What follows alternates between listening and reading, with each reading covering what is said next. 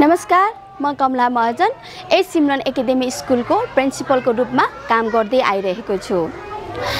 S academy मिति दुई हजार एकसाठी सालमा स्थापना भई हालसम्म नानी बाबुहरूको गुणस्तरीय शिक्षाको लागि काम गर्दै आइरहेको छ।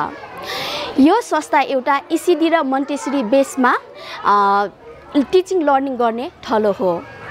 यो एकाडेमीलाई एउटा नमुना विद्यालयको रूपमा विकास गर्दैछौँ जसमा परम्परागत पद्धतिबाट मात्र सिकाइ नभई थिम बेस एक्टिभिटिज बेसमा टिचिङ लर्निङ गराउँदै आइरहेको छ। आजको यस कार्यक्रममा पनि यस स्कुलको करिकुलमको आधारमा theme me and my surrounding अन्तर्गत आफ्नै आसपास भएका सामग्रीहरूलाई कसरी बनाउन सकिन्छ भन्ने कुरालाई हामी प्र्याक्टिकल वेबाट यस कार्यक्रमबाट देखाउन गइरहेको छु।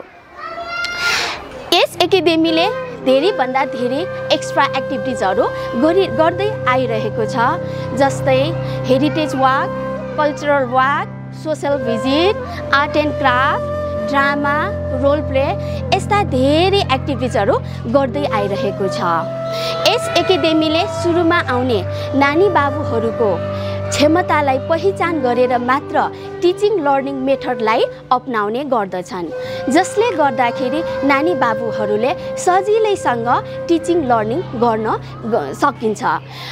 टिचिङ लर्निङको लागि प्र्याक्टिकल एउटा बेस्ट वे हुनेछ र बेस्ट वे हो।